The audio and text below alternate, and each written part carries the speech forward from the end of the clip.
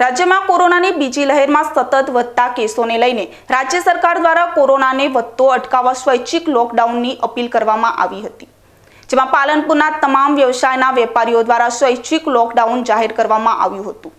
જેમાં પાલનપુર માર્કેટયાર્ડના સંચાલક દ્વારા કોરોનાની બીજી લહેરમાં સંક્રમણ અટકાવવા સત્તર એપ્રિલથી થોડાક દિવસો સ્વૈચ્છિક લોકડાઉન કરવામાં આવ્યું હતું. ત્યારબાદ સરકાર દ્વારા લોકડાઉન જાહેર કરવામાં આવ્યું હતું. પાલનપુર માર્કેટ યાર્ડ તેત્રીસ દિવસ સુધી બંધ રહેતા ખેડૂતોએ ચાલુ સિઝનમાં એરંડા, રાયડો અને ઘઉંનો સીધો મિલોમાં વેચી દેતા માર્કેટ યાર્ડને મોટું નુકસાન વેઠવાનો વારો આવ્યો છે. આજે પાલનપુરના માર્કેટ યાર્ડમાં તેત્રીસ દિવસ બાદ ખુલતા ખેડૂતો માર્કેટ યાર્ડને ન ફરતા વેપારીઓએ આજે સરકારની કેટલીક નીતિઓને લઈને નારાજગી વ્યક્ત કરી હતી. જ્યારે પાલનપુર માર્કેટ યાર્ડ બંધ રહેતા શેષને લઈને ચાલીસ લાખથી વધુ નુકસાન વેઠવાનો વારો આવ્યો હતો.